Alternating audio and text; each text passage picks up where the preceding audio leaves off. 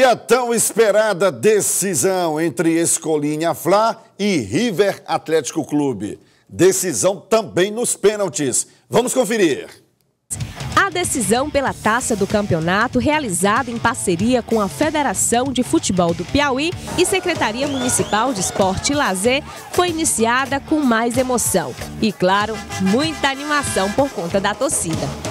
Depois de 44 jogos, com 28 equipes que ficaram para trás e não deixaram de fazer bonito nesta Copa Cidade Verde de Futebol Sub-13, nesta decisão, quem ganhou destaque foi a torcida, que fez uma linda festa para coroar o campeão da Copa Cidade Verde de Futebol Sub-13.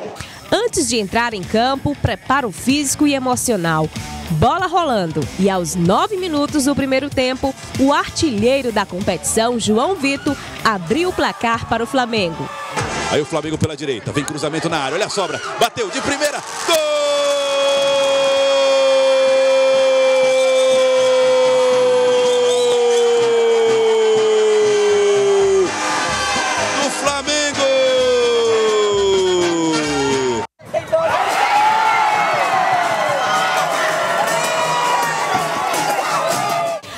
Segundo tempo, em cobrança de escanteio pela esquerda, gol de Arthur, ampliando o placar para o rubro-negro, que já sentia o gostinho de segurar a taça.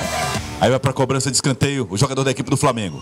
Bola cobrada, Arthur de calcanhar. Olha a bola, vai entrando na trave. Gol!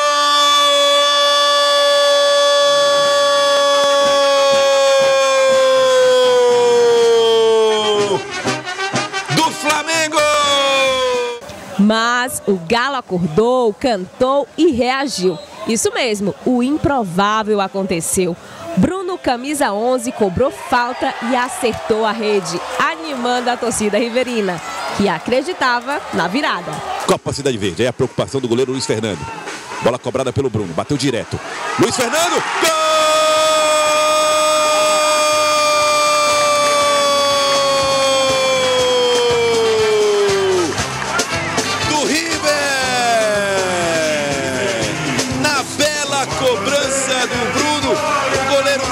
Se esticou, tocou na bola, mas ela morreu no fundo da rede. Agora, Flamengo 2, River 1, está vivo na decisão. O time do River então, Galinho, nós vamos ser campeão, meu filho. Vocês provaram que é raça, é de raça. Galo! No final do segundo tempo, competição aquecidíssima. Aliás, pegando fogo mesmo. Pedro de cabeça encheu a rede e empatou o jogaço. Inverteu o cruzamento na área, olha a chance do River. Gol!